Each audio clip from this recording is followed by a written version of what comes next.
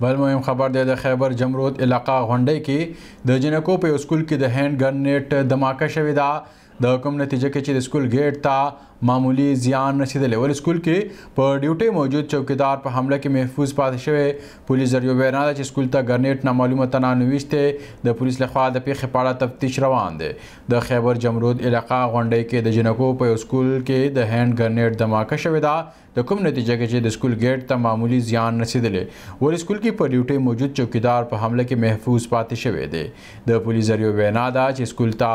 ګرنیټ نامعلوم تنانو ویشتلی دی د پولیسو لخوا د پیښې په اړه تفتیش روان دی